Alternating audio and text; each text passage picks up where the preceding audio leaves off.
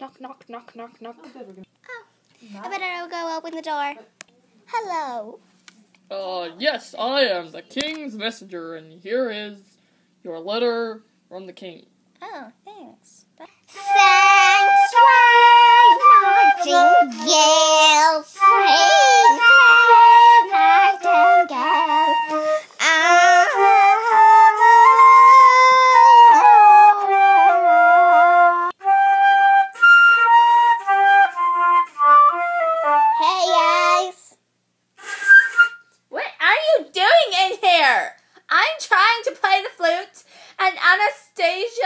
Anastasia, oh, and Anastasia, and Rosella is trying to sing, and Mother is trying to play the piano.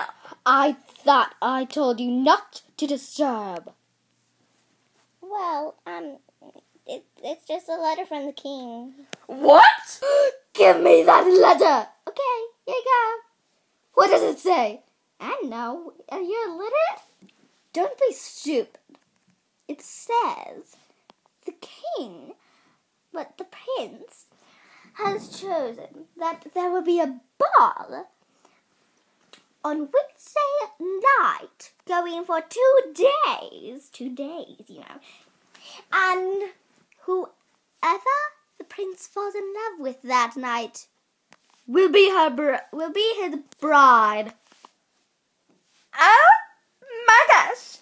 Mom, What?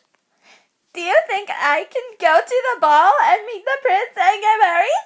Of course, sweetie. Um, okay, I'm gonna go. I'm gonna go. Don't you want to go to the ball? Well, I, I suspected that you wouldn't let me.